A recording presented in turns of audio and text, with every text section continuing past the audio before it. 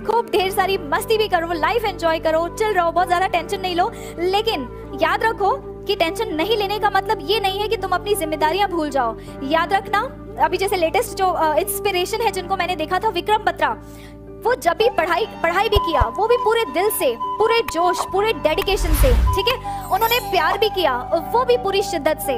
और उन्होंने जंग लड़ी, वो भी पूरी शिद्दत से।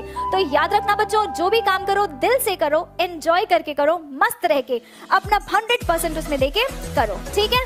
All right right? और खूब ढेर सारा प्यार आप लोगों के लिए, बहुत ढेर सारे wishes keep studying and all the students waiting for their result best wishes for them हम आप सब लोग को कहना चाहेंगे, इस तरह से मानसिकता से हटिए। हम सब क्या है, कोई ऊंच नीच नहीं है, कोई बड़ा जात, कोई छोटा जात नहीं। हम सब एक हिंदुस्तानी हैं। हम सबको एकदम मिलजुल कर रहना चाहिए। इतना हँसी मज़ाक करके, इतना खुशी से रहना चाहिए कि किसी को पता ही नहीं चले, भैया, कौन इसमें बड़ा, कौन छोटा?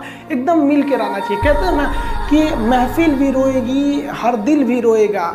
डूबेगी कश्ती मेरी तो साहिल भी रोएगा।